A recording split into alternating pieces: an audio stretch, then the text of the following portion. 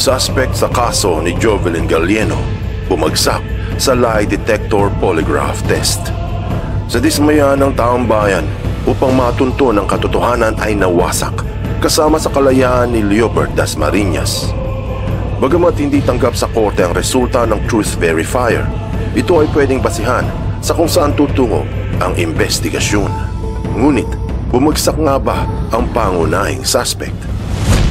Mabubulabog ang iyong pagkatao kung maririnig mo na maraming scientist ang nagsasabi na hindi mapagkakatiwalaan ang lie detector test. Mayroong mga naniniwala at marami din namang naghihinala. Ang tanong, totoo ba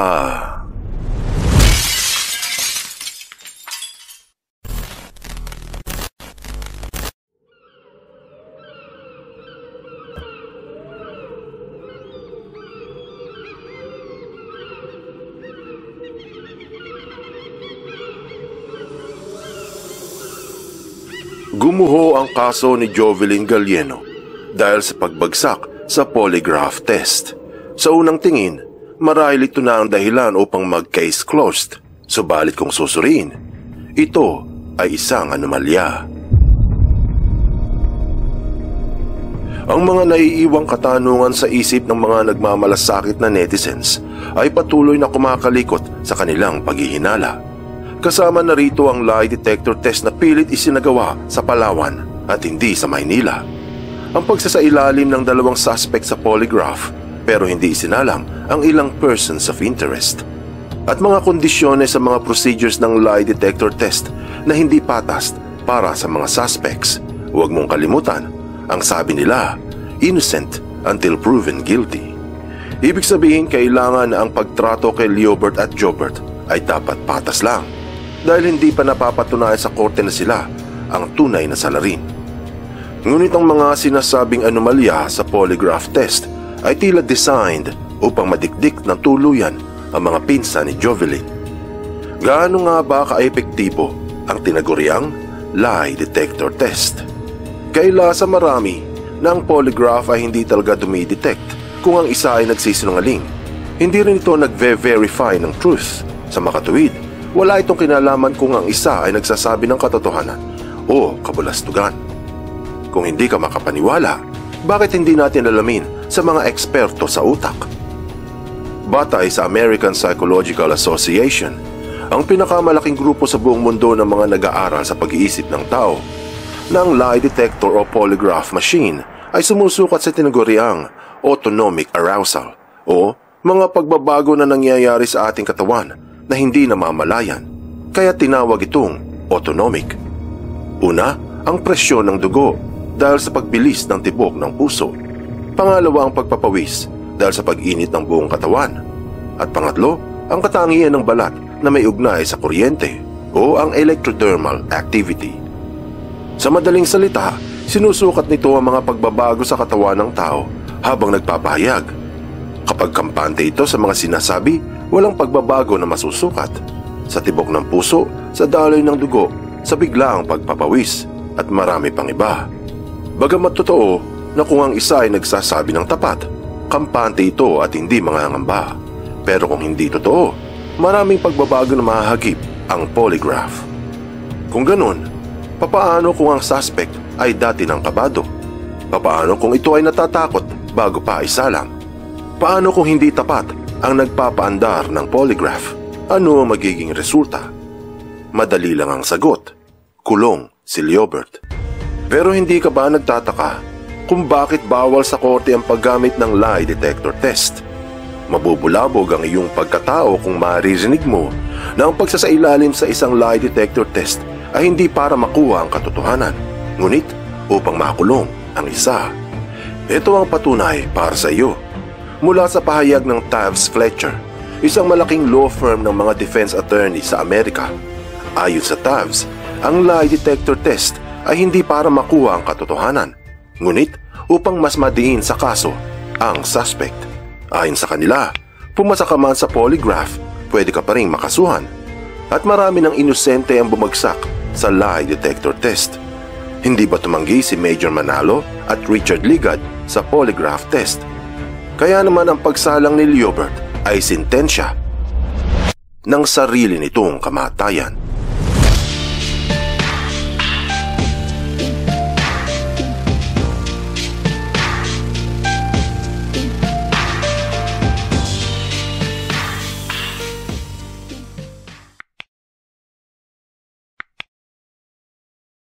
Bakit bumagsak si Liobert sa polygraph test?